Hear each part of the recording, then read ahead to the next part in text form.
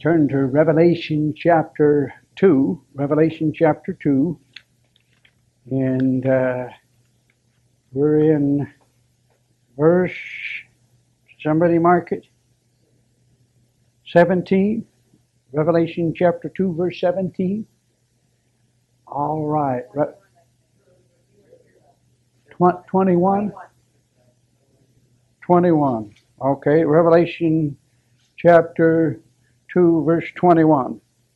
And I gave her space to repent of her fornication, and she repented not. Now, I, did we go over those verses on Jezebel in the Old Testament? Did we go across the verses of Jezebel in the Old Testament that's in verse 20? Did we go across those verses? Anybody mark them?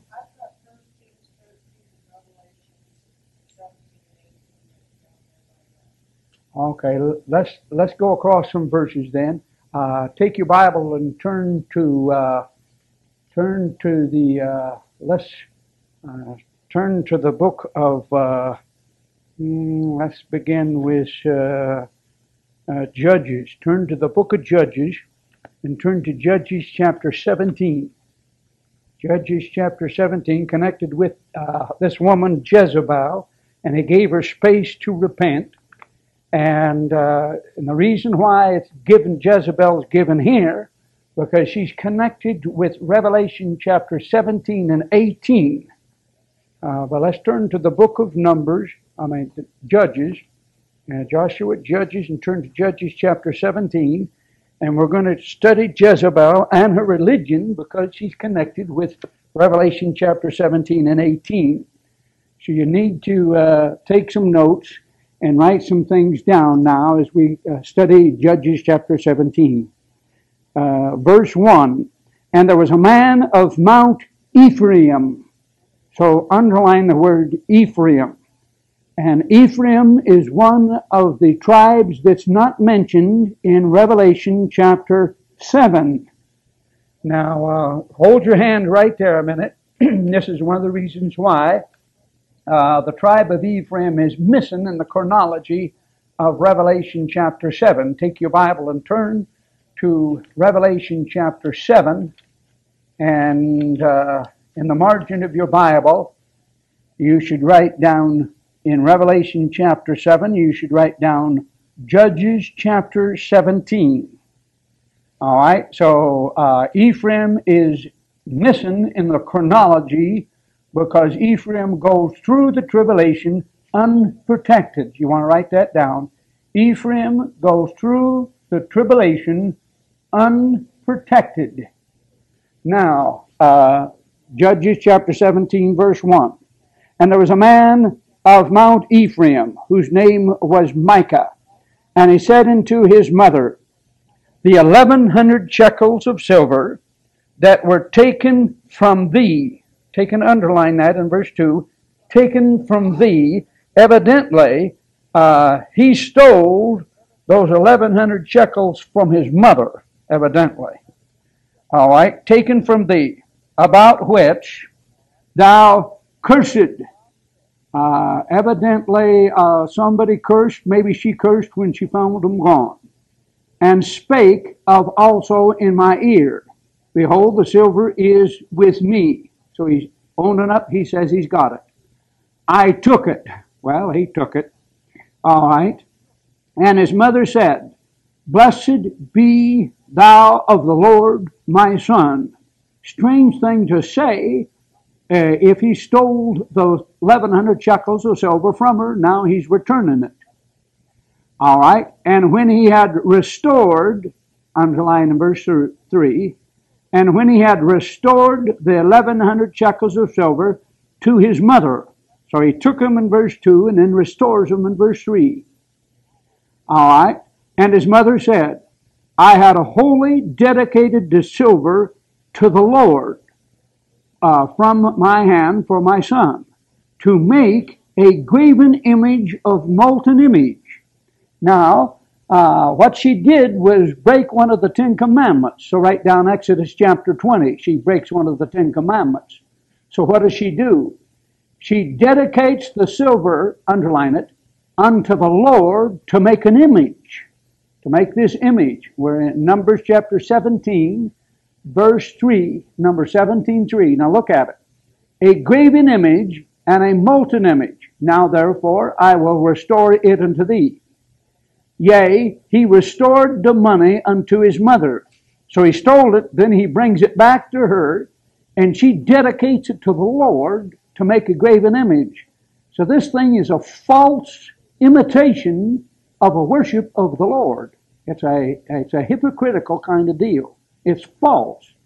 Now, uh, the rest of it. Uh, uh, give them to the founder. Underline the word founder in verse 4. Founder. So the founders is the fellow that's going to make this graven image out of these shekels of silver, who made thereof a graven image and a molten image, and they were in the house of Micah. So I'm, I'm at that, they're in the house. Now, verse 5. And the man Micah had a house of gods, a house of gods. So he got all these gods that he's made, little images around his house, and made a ephod. Now, the ephod is that thing that's a breastplate over there on the priest, that's uh, uh, that the high priest has. So he, this is an imitation ephod that Micah's made. All right, and a teraphim, uh, T E R A P H I M. That word occurs six times in Scripture, and it means a household god like an image of a man, similar to the image of a man, like a household god, a teraphim, and occurs six times. Uh, they have done a very similar thing. You might write it in the margin of the Bible. Is 1 Samuel 19, verse 12. 1 Samuel 19, 12. Very similar kind of thing. Same Hebrew word. And consecrated, now underline this, this is very important. One of his sons. So he has a house full of gods, and he has a false uh, uh, uh religious clothes, and uh, he has idols, and then he does something. He consecrates one of his own sons, who became, now watch this, became his priest. So that man has a younger son who is he calls a priest. Now, verse 6. In those days there was no king in Israel, but every man did that which was right in his own eyes. And there was a young man of Bethlehem of Judah of the family of Judah who was a Levite. So underline in verse 7, a young man, and he's also a Levite. The Levites are those uh, priests. All the priests of, are of the tribe of Levi.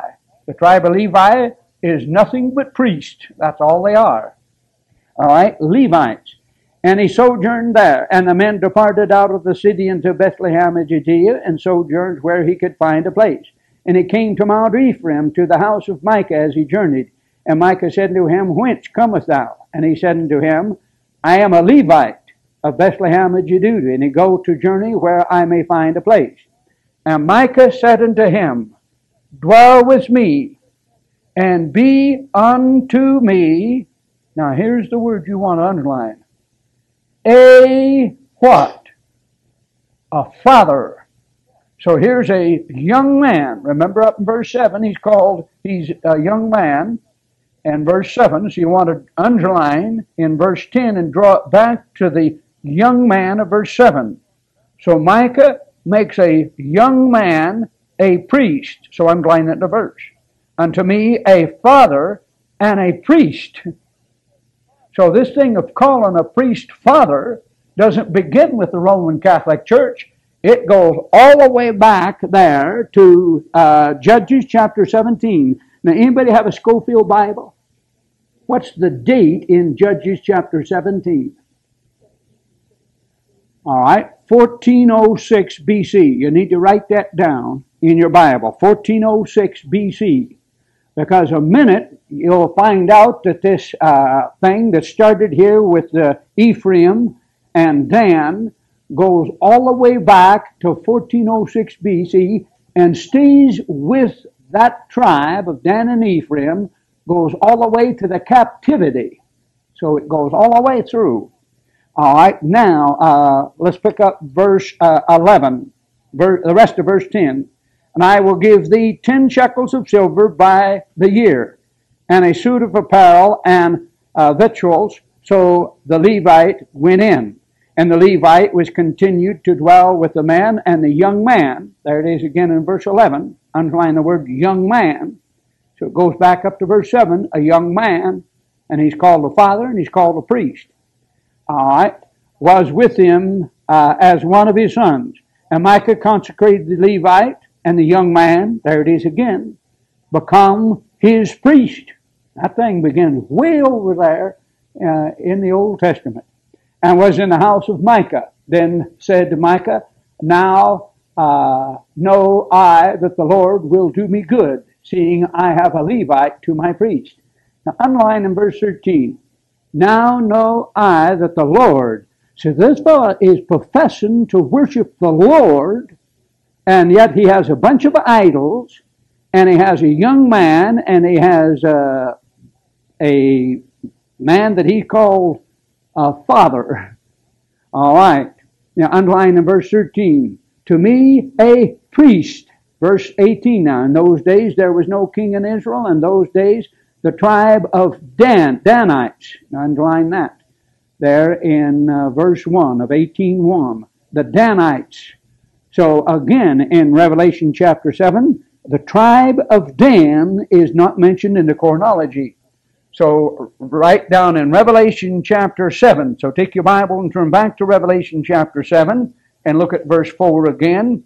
For 4, 5, 6, 7, and 8, the tribe of Dan is missing in the chronology. So there's two tribes missing Ephraim and Dan. And the reason why is because of their sin of idolatry, of worshiping idols, worshiping idols that begins in Judges chapter 17 and 18. Now, uh, underline in verse 2, uh, Judges chapter 18, verse 2. And the children of Dan, underline that, there it is, circle it.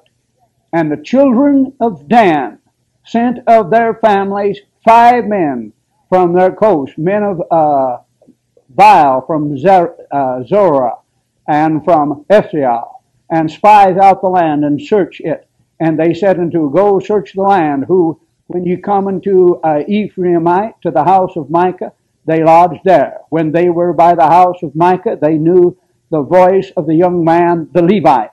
So underline in verse uh, 3, they knew the voice of the young man of the Levite. Why? He'd been a priest.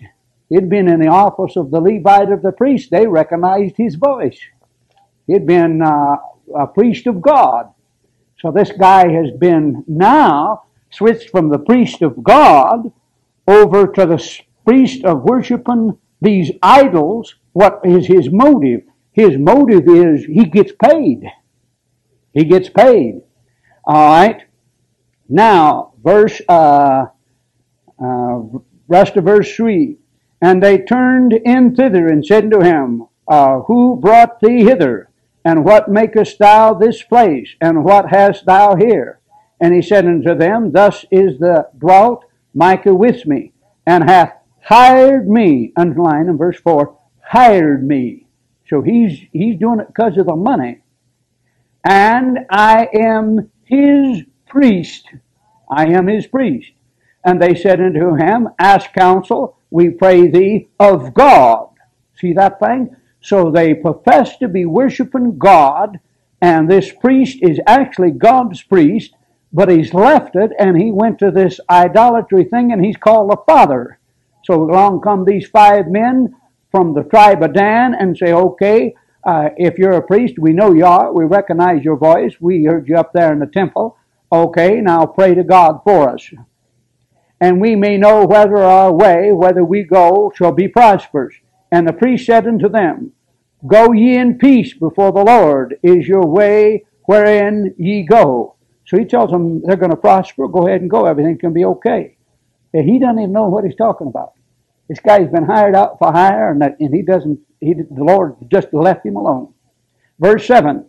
Then the five men departed and came to Lachish and saw the people that were therein, how they dwelt uh, carelessly after the manner of the Zidonians, uh, quiet and scarce, and there was no uh, magistrate in the land that he might put them in shame in anything, and they were far from Zidonians, and had no business with any man, and they came unto their brethren, the Zions and Israels, and their brethren, and said unto them, What say? And they said, Arise, that we may go up against them, for we have seen the land, and behold, it is very good, and they are still, but uh, not slothful to go and to enter and to possess the land. When ye go, ye shall come unto the people uh, scare and to large land, for God hath given it into your hand, a place where there is no want of anything that is in the earth. Okay, underline verse 10, for God hath given it into your hand. Uh, that guy's lying. He just he just talking out of out of the thin air. He doesn't. He's not getting this from the Lord. All right. Now verse eleven. And there went forth thence the family of Danites. Underline it. There it is. Dan out of Zion and out of the Israel. Six hundred men appointed with spears of war. And they went out and pitched in Kirjathjearim and Judah, where for they called the place Mahanehdan unto this day, and behold, it was behind uh, Kirjathjearim. And they passed thence into Mount Ephraim and came into the house of Micah. So underline that. Come into the house of Micah. So here's 600 men coming up there now. Then answered the five men that went uh, to spy out the country of Lachish, and said unto their brethren, Do ye know that there is in this house a ephod and a teraphim and graven images and molten images. Now therefore consider what ye have to do. And they turned in thither and came to the house of the young man and Levite, even to the house of Micah, and saluted him. And the six hundred men, appointed with their weapons of war, which were the children of Dan, stood by the entering of the gate. And the five men that went in to spy out the land went up and came thither and took the graven images and the ephod and the teraphim and the molten images, and the priest stood in the entering of the gate with the 600 men that were appointed with weapons of war. All right? And these went into Micah's house and fetched the graven images. Underline that. So they go into Micah's house and take all his graven images, the ephod, the teraphim, and the molten images. Then said the priest unto him, What do ye? So the priest said, Well, will you take all the gods out of Micah's house for? And they said unto him, Hold thy peace. Don't say nothing. Lay thy hand upon the mouth. All right, put your hand over your mouth. Don't say nothing. And go with us. So underline that. Go with us. So they're saying, We want you to go with us because we're 600 men of the tribe of Dan and they're going to battle, to war. And they say, Come with us. Now watch it. And be to us now underline it in verse 18. It'll show you something. And be unto us a father and a priest. There it is, that thing of a father and a priest goes all the way back over there uh, several hundred years before uh, the New Testament. It is better for thee to be a priest unto the house of one man, or that thou be a priest unto a tribe. So underline that. So this man becomes a priest unto the tribe of Dan. And he gives up Micah. And he, he says, man, I got a whole priest, a whole bunch of tribe, a whole tribe here to be in control of. And the family in Israel and the priest heart, underline it, the priest heart was glad. In his heart, he said, oh man, I got 600 men. I can, I'll be the priest of all these folks. And they took the ephod and the teraphim and the graven images and went in the midst of the people. So they turned and departed and put the little ones and the cattle and the and carriage before them. And when they were a good way from the house of Micah, the men that were in the house near to Micah's house, so that's his neighbors, that's Micah's neighbors, were gathered together and overtook the children of Dan. So they catch up with them. And they cried unto the children of Dan. Now they're talking to this whole 600 men of arm, armed men ready to fight. And they turned their faces and said unto Micah, What aileth thee? They see him coming, they turn around and say, What do you want? That thou comest with such a company. He got a few men, but 600 men, he don't have 600 neighbors. Micah may have 20 or 30 against his 600. And he said, Ye have taken away, now underline it, my gods which I made. Underline it. My gods which I made. He took his idols out there. That's very important because this tribe carries that thing for 600, 700 years. And, and the priest, underline it in verse 24, the priest. And you're gone away, and what have I more? And what is that ye say unto me, what aileth thee? See, what do you mean saying, what aileth thee? I'm mad because you took my gods. Verse 24. And the children of Dan, underline it, there it is again, said unto him, Let not thy voice be heard among us, lest anger fall out run upon thee, and thou lose thy life uh, with the life of thy household. Uh, they're saying, uh, You better shut up. We're, we could just wipe you guys all out in about 10 minutes. So he said, You better leave. You know that? You better just shut up. We got your gods and your priests, but you better leave. Verse 26 And the children of Dan went their way. And when Micah saw that they were too strong for him, he said, Man, I can't do nothing. They'll kill me. He turned and went back to his house. Underline that. He goes back to his house. He didn't get his gods back. And they took the thing which Micah had made, underline that, had made, and the priest took his priest, which he had, and came to Lichish unto the people that were quiet and secure, and smote them with the edge of the sword, and burnt the city with fire. They go up there and just kill all those people. And there was no deliverer, because it was far from Zidon, and had no business with any man, and it was in the valley that layeth at Bethhoron, and they built a city and dwelt therein. They called the name of the city Dan, after the name of Dan, their father, who was born in Israel, howbeit the name of the city was called Lachish at the first. And the children of Dan set up graven images, underline verse 30. And Jotham, the son of Geshem, the son of Meshach, he and his sons were priests unto the tribe of Dan. Now here's what you want to get, verse 30. Now underline it in your Bible, circle it. Until the day of the captivity of the land. So that idol worship of the tribe of Dan is carried on for 700 years, over 700 years till they go into captivity. And they go into captivity over there in 2 Kings chapter 18. Go into captivity in 2 Kings chapter 18. And uh, somebody give me the uh, turn, you've got a Scofield Bible, turn to 2 Kings chapter 18, and then compare the two dates that are found here in 2 Kings chapter 18. 2 Kings chapter 18 and then compare the two dates, and you'll see how long the tribe of Dan was worshiping idols until they leave into captivity. That's uh, 716, 713. Okay, 713. And what's the date over here? In Judges 18, 17 and 18. 14 what? 1406. So you got 1406 and subtract uh, 713 and you come up with Okay, so that's what you have. That's how long they were in idolatry. That's 600, almost 700 years.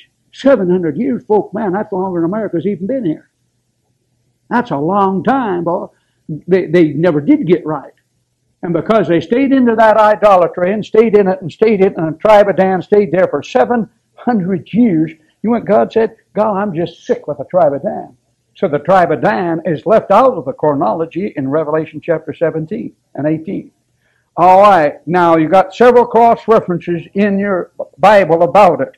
But uh, take your Bible and turn to Jeremiah. Turn to Jeremiah and turn to Jeremiah chapter 17 and let's see some more things about it. Now, if you really want to do a study on it, what you should do is see the uh, the study of the the God of Baal, the God of Baal in the Old Testament, and study all that stuff that's connected with the Baalite worship, the God of Baal. Turn to uh, Jeremiah chapter, what did I say? The seventh, 17? No, I want, I want, I, I want to go to Jeremiah. I'm to go a little bit further than that. Uh, I think it's 44. No, I think it's 44.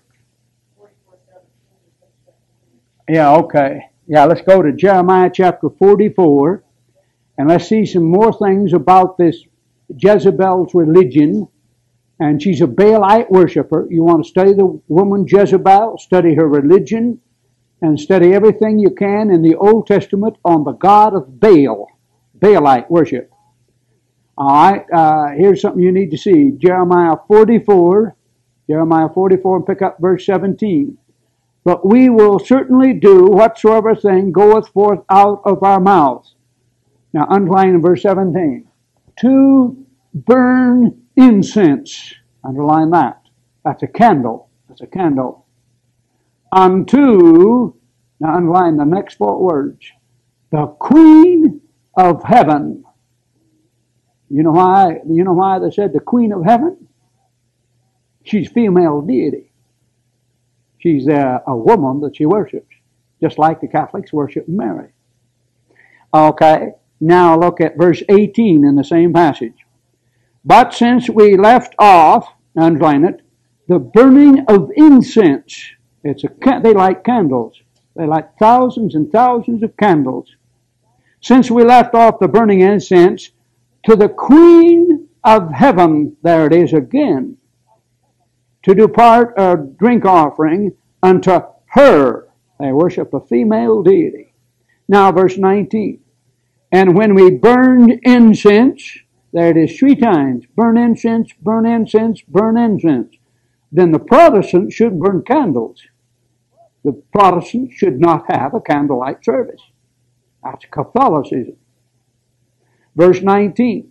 And when we burn incense to the Queen of Heaven and pour out drink offering unto her, did we make her, underline it, cakes to worship her, underline, worship her, worship her. So they worship Mary.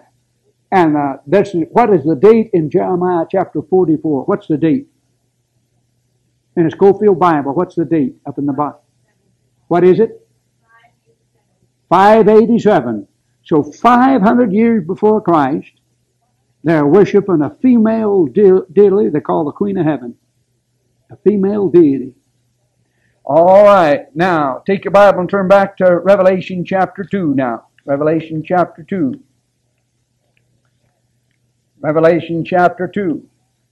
And uh, do a study on it in the Old Testament on the, on the God of Baal. You want to study it and find it out, it's way over there. So they have a priest that called Father. Now that's why you find Jesus when he said Matthew chapter 23, call no man upon this earth your Father. He's in reference to that Baalite worship over there in the Old Testament. Uh, uh, Revelation chapter 2 now. Revelation chapter 2 and pick up verse uh, 21. And it gave her space to repent of her fornication, and she repented not. Behold, I will cast her unto a bed, and them that commit adultery with her. So she doesn't go down alone. She takes some folks with her. Unto what? Underline it. Great tribulation. So you should have Matthew chapter 24, verse 21 in your notes. Great tribulation. So uh, she's thrown into a bed no, it's not there, but you want to write it in. Matthew 24, verse 21, uh, the Great Tribulation is mentioned. So she goes there, and people go there with her, except they repent of their deeds. And I will kill her children with death. And kill them with death. Look at Revelation chapter 6. Revelation chapter 6, look at verse 8. Revelation chapter 6, verse 8. Uh, I looked and behold a pale horse, and his name that sat on it was, now underline it, death. There's a capital D.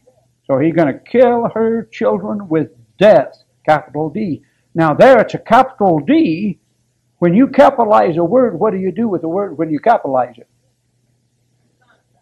Yeah, you make it a man. You make it a person. You make it a person. So death there is connected with a person. All right. Uh, back to Revelation chapter 2 and uh, verse 23.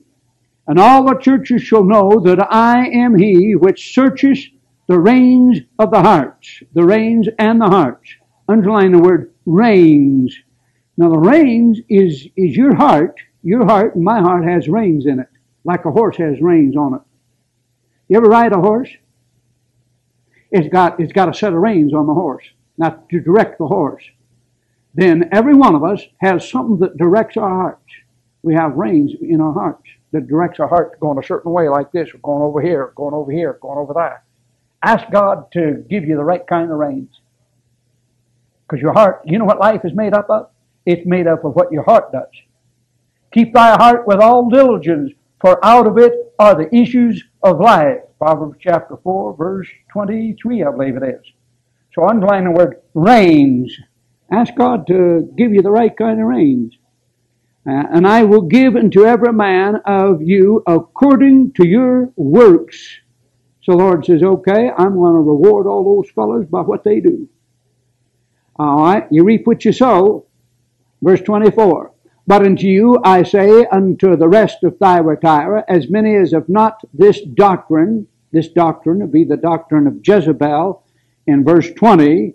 So write down in the margin of your Bible, the doctrine of Jezebel, verse 20, which we went over a little bit, not much, but you need to do a real study on it in the Old Testament. As many as have not this doctrine, of which have not known the depths of Satan, not knowing the depths of Satan in relationship to Jezebel and her religion, then some folks don't know much about Rome. A lot of Catholics don't know much about her. A lot of Protestants don't know much about her. All right? As I speak, I will put upon you no other burden, but that which ye have already hold fast till I come. So he's warning them to hold fast till they come, talking about second coming. And he that overcometh and keepeth my works unto the end, now underline that there in verse 26, unto the end, there it is again, that's tribulation. So write down Matthew chapter 24, in the margin of your Bible, Matthew chapter 24, verse 13. That's why you see that thing in the book of Hebrews, unto the end. And that's to the end of a period of time. All right, to him will I give power over the nations. The, the tribulation saint will, will reign. And he that rules them with a rod of iron, and he shall rule them with a rod of iron. So uh, Jesus Christ is going to rule the nations with a rod of iron. Now write down uh, Revelation chapter uh, 19, verse 15. He shall rule them with a rod of iron. Revelation chapter 19, verse 15. And out of his mouth goeth a sharp sword, that with it he should smite the nations, and he shall rule them with a rod of iron. So the millennial reign of Christ is what kind of reign? It's a reign with a rod of iron. Boy, it's quite a reign. And the Lord's gonna, it's gonna be a reign with, with power. Rule with a rod of iron. Boy, that's gonna be ruling with some tremendous amount of power. Power. It's not gonna be, uh, gonna be rough. Gonna be rough in a certain sense, ruling with, what would you think if he said he's going to rule with a rod of iron? What would you have in the picture of your mind when he says that? Folks, what would you have? What would you think? You think, would you think it's going to be pretty rough? Rule with a rod of iron. Revelation chapter 2. All right. Uh, and as a vessel of a potter shall they break the shivers, even as I receive of my Father. And it looks like he, when he comes back too, he's going to destroy the nations and wipe out all the nations and do away with them. Uh, take your Bible and turn to the book of Daniel. Turn to the book of Daniel and turn to Daniel chapter 2. Daniel chapter 2. And notice in Daniel chapter 2, when the Lord returns, He's going to wipe out all the nations of this earth except the, the nation of Israel. Look at Daniel chapter 2, verse 35. Daniel 2:35. Then was the iron and the clay and the brass and the silver and the gold. Those all represent kingdoms. All right? Uh, broken in pieces together and become like the chaff of the summer threshing floor. And the wind carried them away, that no man was found uh, for them. And the stone that smote the image become a great mountain and filled the whole earth. So the stone is Jesus Christ coming back, and the mountain is his kingdom. All right, look again at verse 44. Daniel's image in Daniel chapter 2, when that stone falls down and hits the feet and destroys the whole image. Look at verse 44. And in the days of those kings shall the God of heaven set up a kingdom, that's the millennial kingdom of Christ, which shall never be destroyed. So the millennial kingdom is actually an eternal kingdom. And the kingdom shall not be left to another people, but it shall be broken in pieces and consumed. All these kingdoms, so all the kingdoms in the past are destroyed, and it shall stand forever. Christ's kingdom will stand forever. All right, Revelation chapter uh, 2 now. And pick up uh, verse 28 and I will give him the morning star. Underline that, morning star. Now, folks, you should know by now, you should know who the morning star is. Jesus Christ is the morning star. So you want to, want to write down two cross references for the morning star. Write down, uh, first of all, uh, Revelation uh, chapter uh, well, where am I at? Revelation chapter 22, verse 16. Write that down verse. The morning star. Revelation 22, 16. You ought to study the morning star. The morning star actually is the planet Venus. Is the planet Venus. If you look over, uh, where's it at now? Dennis, you know where it's at?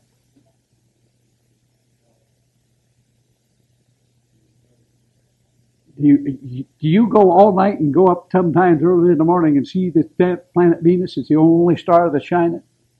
Or you get up early in the morning about what time, Dennis?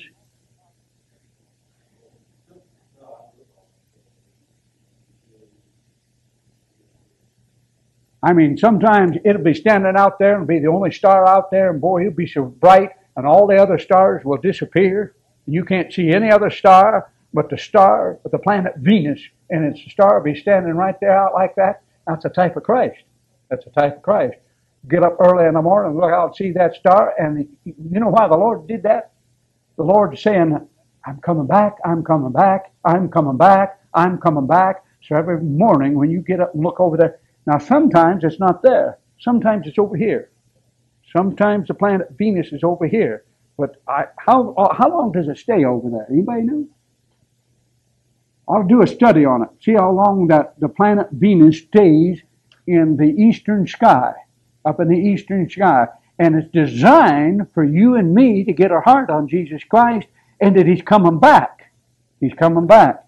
Now look at uh, the cross reference, uh, uh, Revelation chapter 22, verse 16.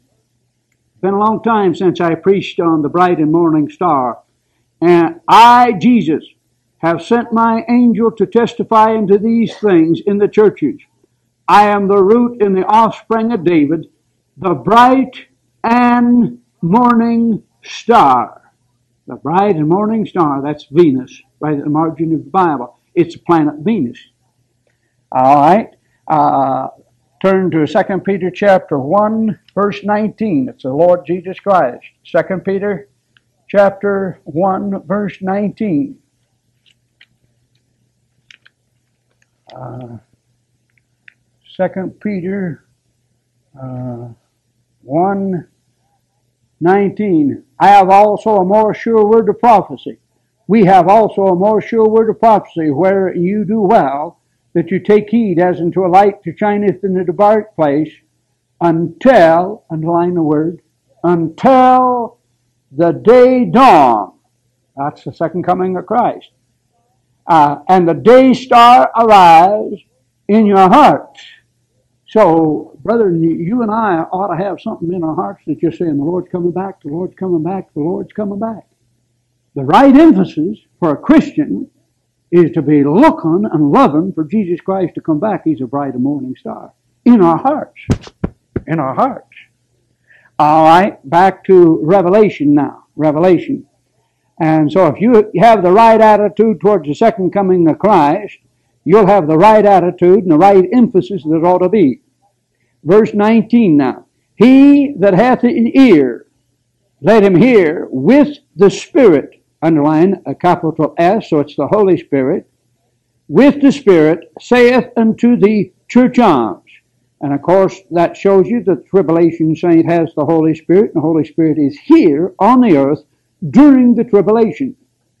Revelation chapter 3, verse 1 And to the angel of the church of Sardis write, These things saith he that hath the seven spirits of God. Seven spirits of God. Write down Isaiah chapter 11, verse 1 and 2. He that hath the seven spirits of God. And the angel church of Sardis. These things saith he. So Christ is talking that hath the seven spirits of God. Now write it down this way. Seven manifestations of the Holy Spirit.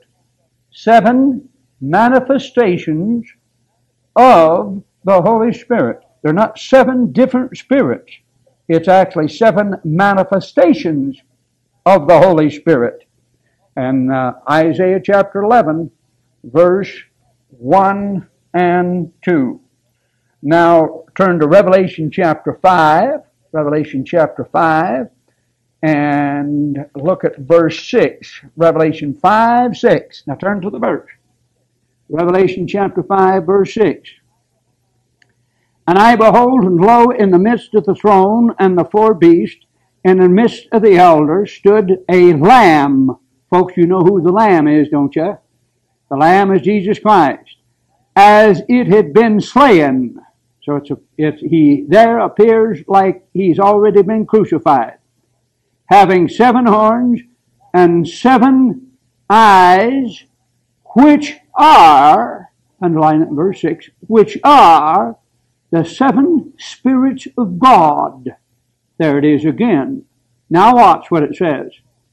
Sent forth, sent forth unto all the earth now, why are the seven spirits of God sent forth into all earth? Because the Holy Spirit is in the tribulation.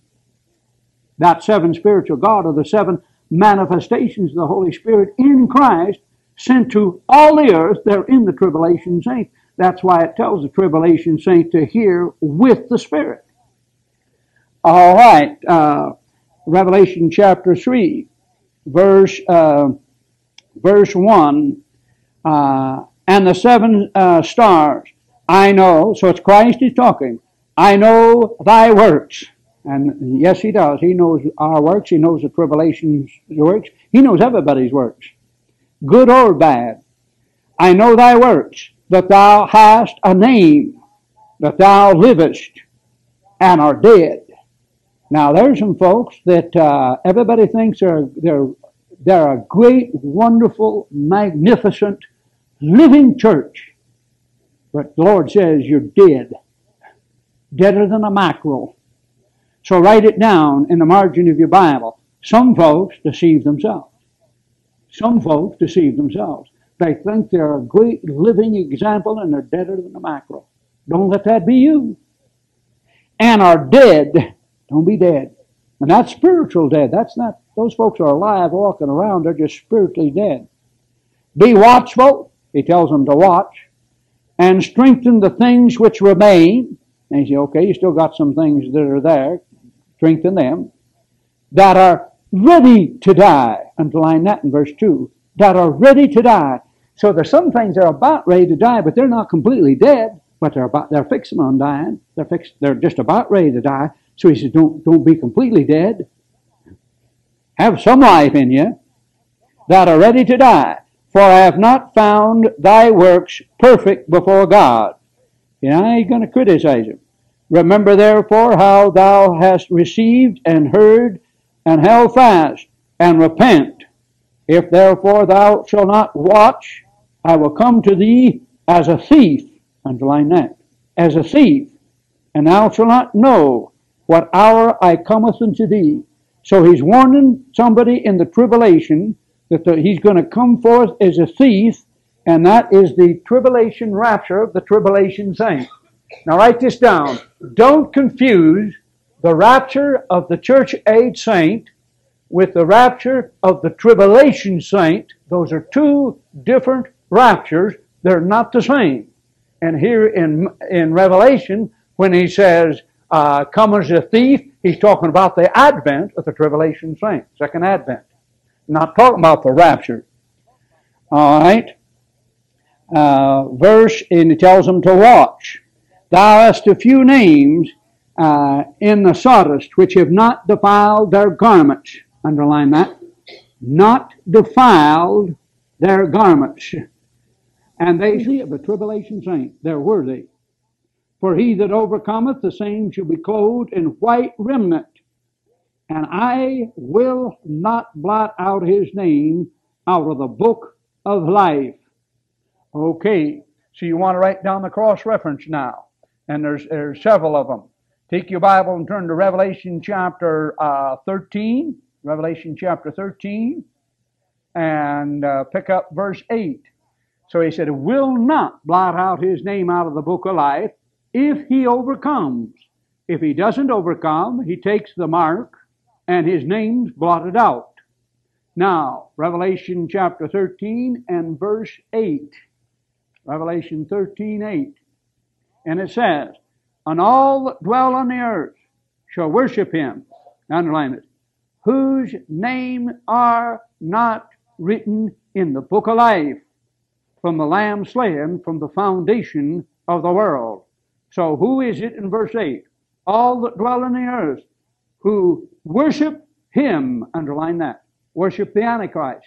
So if a man worships the Antichrist and takes the mark, his name's not in the book of life. His name is not in there. Yeah, the worshippers of the Antichrist don't have their names in. Now turn to Revelation chapter 20. Revelation chapter 20 and pick up verse 15. So that's why you see the book of life over here in the great white throne judgment. Because the tribulation saint, he can't go to the judgment seat of Christ. It's up in heaven, taking place, while the tribulation saint is going through down on earth. He doesn't go to the judgment seat of Christ. He goes to the white throne judgment. So, Revelation chapter 20, Revelation chapter 20, it says in verse 15, and whosoever was not found written in the book of life was cast into the lake of fire. So the tribulation saint overcomes the mark of the beast. So his name's in the book of life. Therefore, the book of life is there at the great white throne judgment. Now, take your Bible and turn also back to Revelation chapter 11. Revelation chapter 11 and watch the great white throne judgment again. Revelation chapter 11. And Revelation chapter 11, uh, pick up, uh, pick up verse 17. Revelation 11, 17. Say, we give thee thanks, O Lord God Almighty, which art, which was, and which is to come, because thou has taken of thee the great power and, now underline the last two words in verse 17, and what? Hast, H A S T, hast what? What's that last word in verse 17? Reign. The millennium is over. The millennium is over. Write it in the margin of your Bible. The millennium is over. So what follows the millennium? The great white throne judgment. Now, verse 18. And the nations were angry, and the wrath is come, and the time of the dead that they should be judged. That's Revelation chapter 20. We just read it. Revelation chapter 20, 8 through 15. that they should be judged, and that they should give, now watch it, give rewards unto thy servants the prophets, and to the saints. He's going to reward them. He's going to reward the tribulation saints. And them that fear thy name, small and great, and should destroy them which destroyed the earth. And the temple of God was open in heaven, and there was a scene in the temple, the Ark of the Testament. But verse 17 and 18 shows you that there's saints, saints at the white throne judgment. Saints at the white throne judgment. A lot of folks say, well, there isn't any saints there. That's all the unsaved people coming up at the last judgment. No, the millennial saints are judged at the white throne judgment, and the tribulation saints are judged at the white throne judgment. That's why it says, give rewards, give rewards unto the servants of prophets, and unto the saints of them that fear thy name. All right, back to Revelation chapter 3. Revelation chapter 3, and let's find a quitting place. Revelation chapter 3, and let's quit in verse, we'll have to pick verse 5 up later again. And he that overcometh, the same shall be clothed in white remnant, and I will not blot out his name out of the book of life. All right. Any questions? We'll go over that again next Wednesday. Any questions about the rest about Revelation? All right. Prayer request.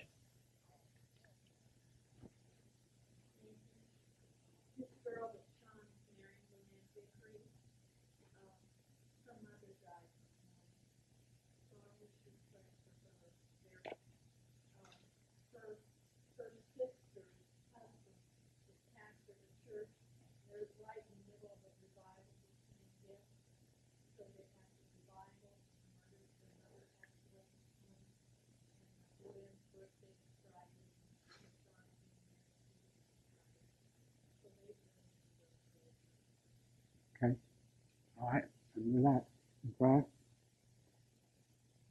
Okay, what else you need to remember in prayer? All right.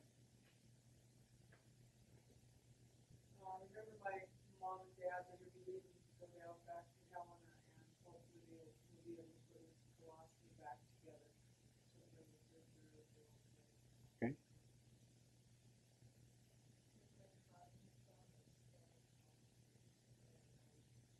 Okay.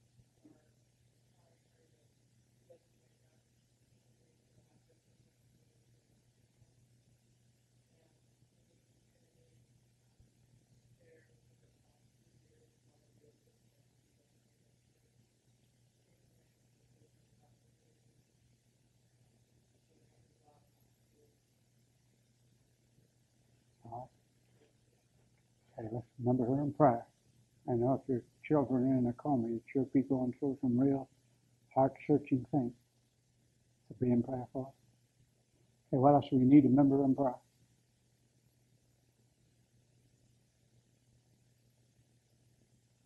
Pray the Lord to give us some good services Sunday. And let's uh, not forget to pray for our missionaries.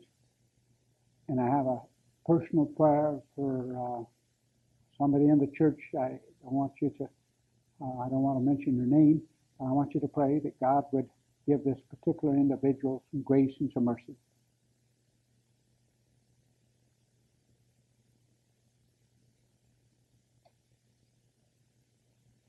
Okay, what else do you need to remember in prayer?